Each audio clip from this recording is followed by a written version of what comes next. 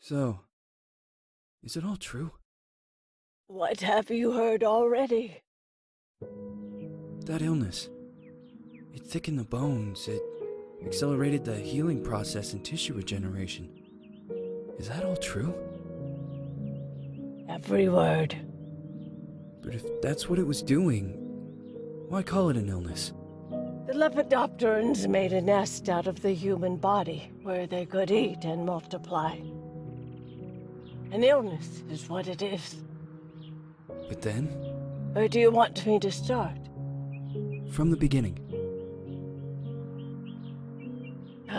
I'm old, Mr. Manny. My memory is not one of my strong points. well, for example, why do they call you Madame Svenska? A name is just a trace.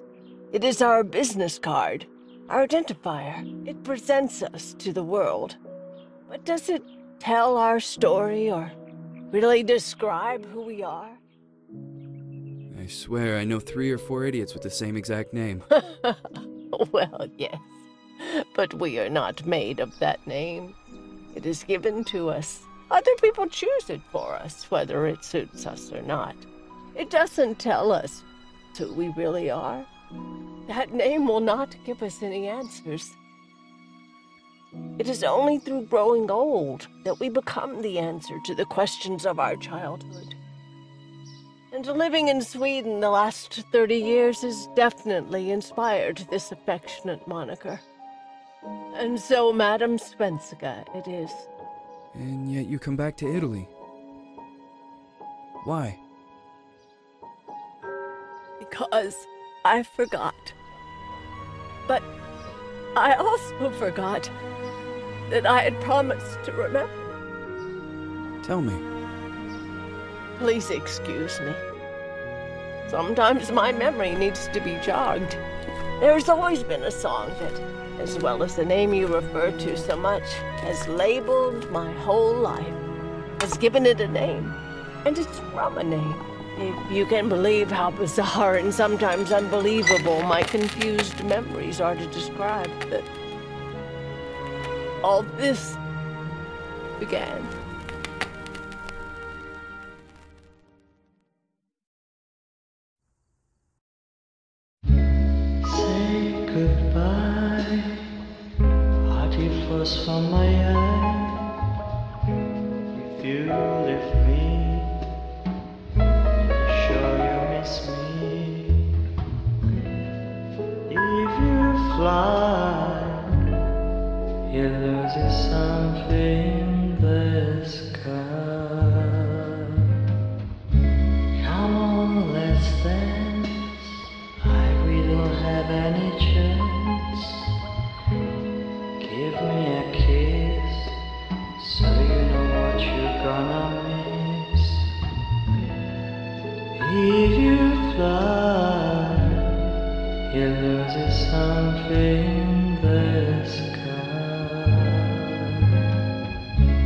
Listen to me,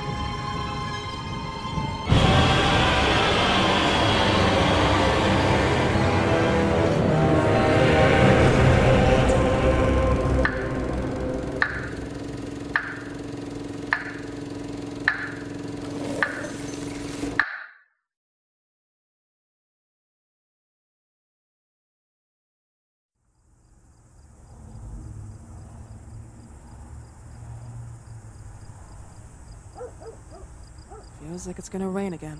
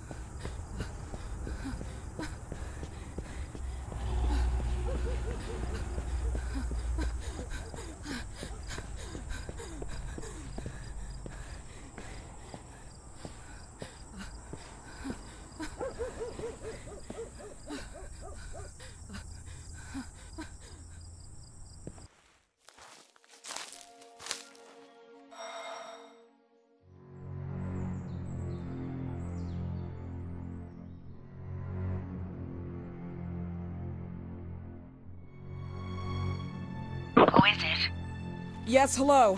I'm Dr. Reed from the Santa Margarita Institute. I'm sorry, but Mr. Felton is no longer a patient. I know. This is why I'm here. Hello?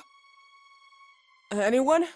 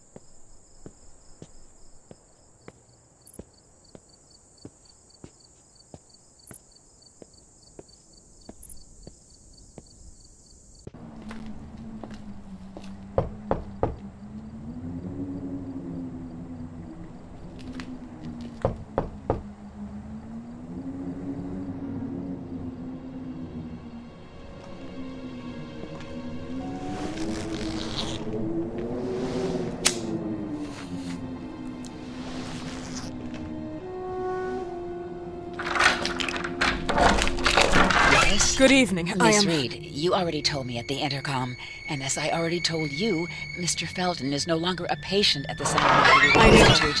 I came here voluntarily, outside the Institute. So what do you want? I am personally re examining your case. Causes, reagents. I strongly believe there are alternative ways and probably other experiments that are worth a try. I am fighting with the Institute to recognize there are other adequate remedies for your husband's pathology. Oh, no, please. I'm just assisting him. I'm his nurse. I didn't know. Uh, it's okay. I suppose you want to talk to him. Thank you. I apologize for the darkness, but Mr. Felton's sight has been damaged and immensely compromised because of the disease. Anyway, I am Gloria. Oh, and please, refrain from smoking inside. Mr. Felton hates the smell of smoke. Sorry.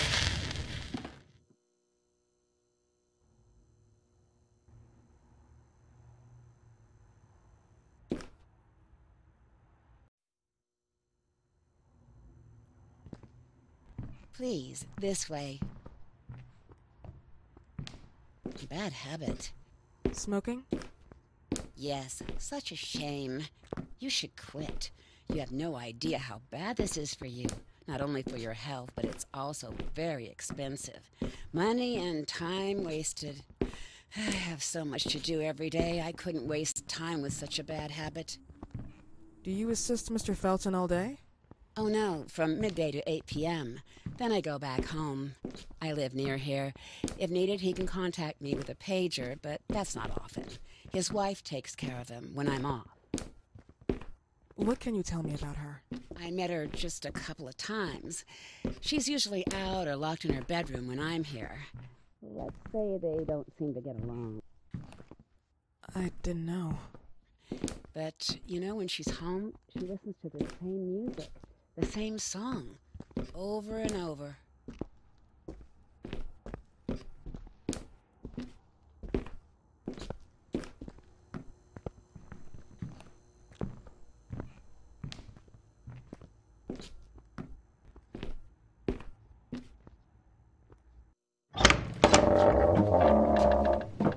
This way, please. Mr. Felton will be here in a few minutes.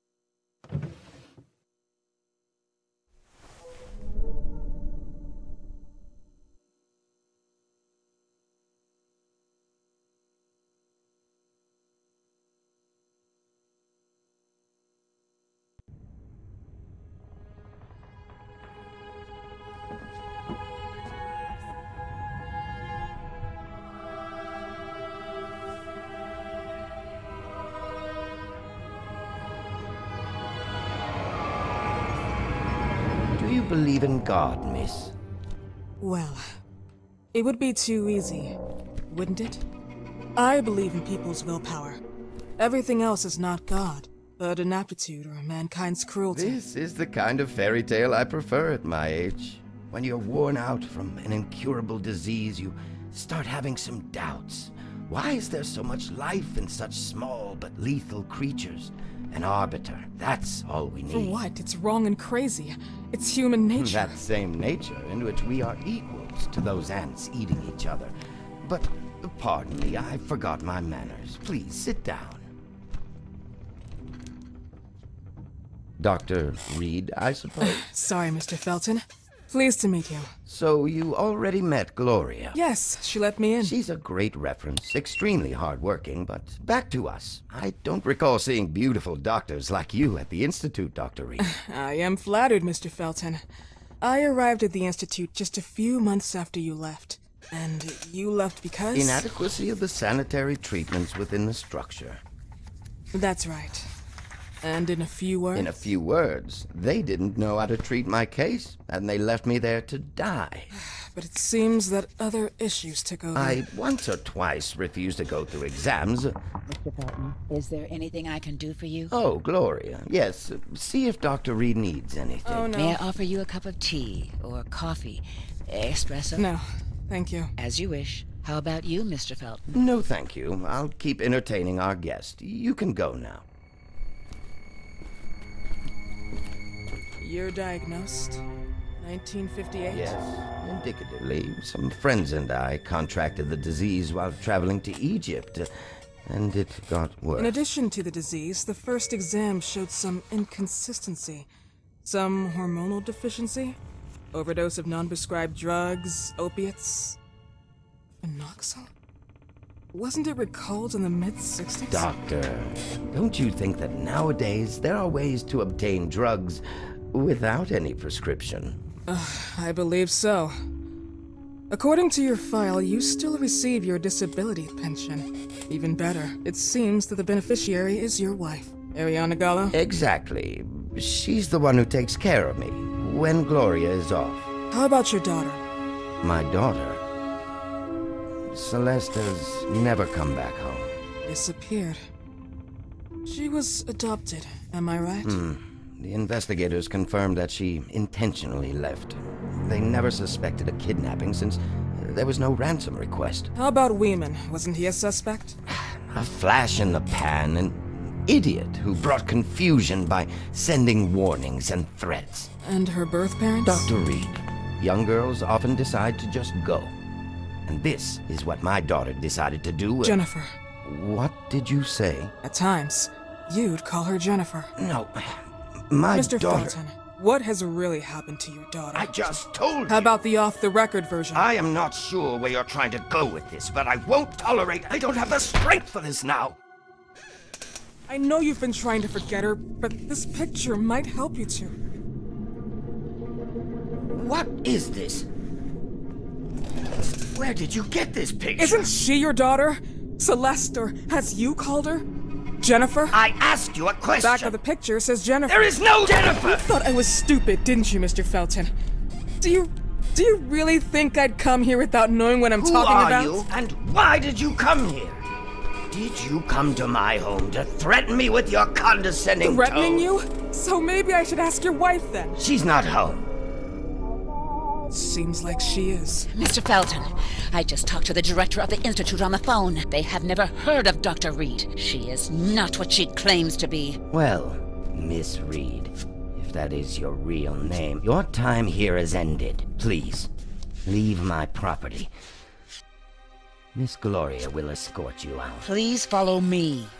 Mr. Felton, please tell me what you did to your daughter. Good evening. Follow me.